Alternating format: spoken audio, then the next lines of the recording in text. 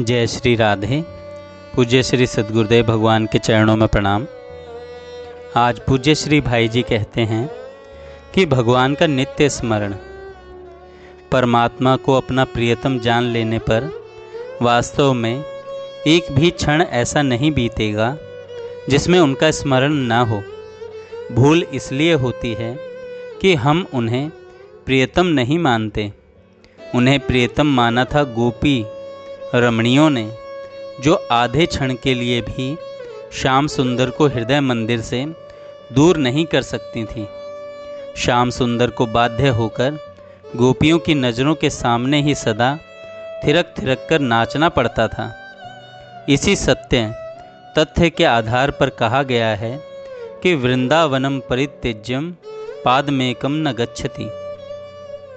भगवान श्याम सुंदर वृंदावन को छोड़कर एक पग भी कहीं नहीं जाते। जाते हों, गए हों, परंतु गोपियों की दृष्टि में तो नहीं गए।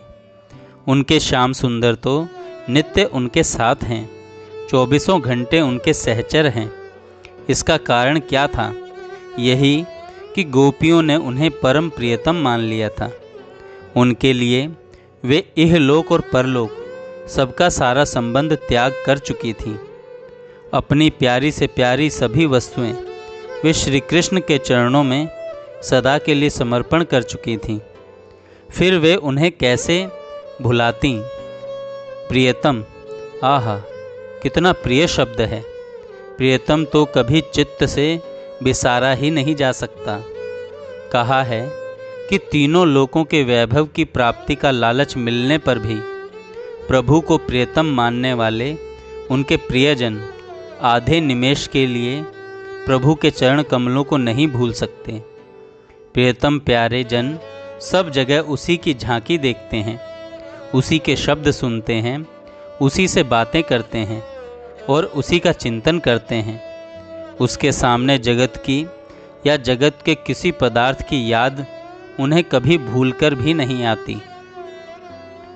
भगवान को प्रियतम बनाने भर की देर है। फिर तो जगत की कीमत कुछ रह ही नहीं जाएगी। राजपाट, धन, दौलत, स्त्री, पुत्र, मान, इज़्ज़त, जीवन, मरण, लोक, परलोक, स्वर्ग, मोक्ष, सभी कुछ उस प्रियतम के प्रेम प्रवाह में बह जाएँगे। फिर वह श्री श्री चैतन्य के शब्दों में गा उठेगा। न धनम, न जन्म, न सुंदरिम, कविताम वा जगदीश कामे, मम जन्मनि जन्मिनीश्वरे। भवता, भवताद भक्ति रहेतु की त्वय्य।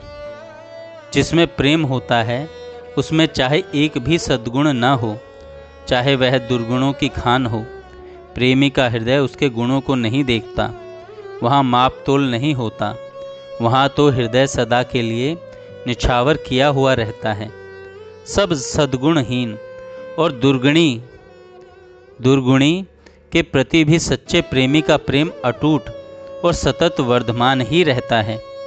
तब परमात्मा को, जो सर्व सद्गुणों के आधार हैं, ऐश्वर्य, सौंदर्य, माधुर्य, प्रेम आदि के अशेष खान हैं, प्रेमास्पद बना लेने पर उनका निरंतर चिंतन करते हुए, चिंतन हुए बिना आ कैसे रहा सक, रहा जा सकता है? बुरे विचार से, पर पुरुष का पर स्त्री में या पर स्त्री का पर पुरुष में प्रेम हो जाता है तो उसमें भी एक दूसरे का स्मरण कभी नहीं छूटता। उठते, बैठते, सोते, जागते, स्मृति बनी ही रहती है। जब लोभी आदमी भगवान के मंदिर में बैठकर गीता सुनाता हुआ भी मन ही मन धन की टोह में रहता है, तब भला परम प्रेमाणव परम लोभनीय परमात्मा को प्रियतम बना लेने पर वे कैसे भुलाए जा सकते हैं? परमात्मा के स्मरण का तार कभी न टूटे।